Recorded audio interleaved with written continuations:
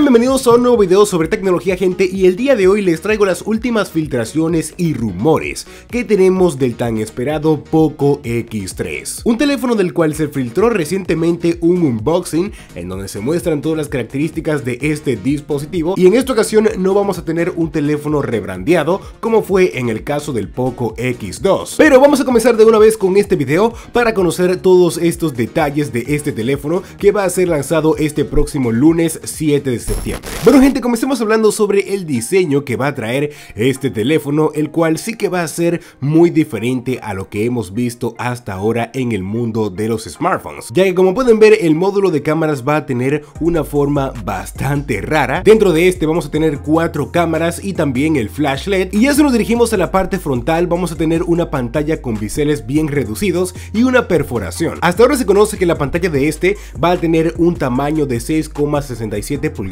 con tecnología LCD y también esta va a tener una resolución Full HD Plus y una tasa de refresco de 120 Hz, o sea que vamos a tener una muy buena pantalla y también vamos a tener protección con Corning Gorilla Glass 5. Ahora bien gente, ya entrando en el apartado de los internos, este teléfono va a estrenar al Snapdragon 732G, que es un nuevo chip que va a venir acompañado de 6 GB de memoria RAM y 64 de almacenamiento interno. Ahora bien, ya hablando sobre el apartado de la batería, en esta ocasión tendríamos una bien grande que sería de 5160 mAh con carga rápida de 33 watts. Si nos dirigimos al apartado de las cámaras, como les dije anteriormente, vamos a tener cuatro sensores. En primer lugar tendríamos una cámara principal de 64 megapíxeles, también tendríamos un gran angular de 8 megapíxeles, un sensor macro de 5 megapíxeles y por último un sensor de profundidad de 2 megapíxeles. Un detalle importante también es que este va a ser capaz de grabar en 4K a 30 fotogramas por segundo y ya la cámara frontal que va a estar incrustada en la pantalla sería de 20 megapíxeles. En cuanto a algunas características extras que va a traer este Poco X3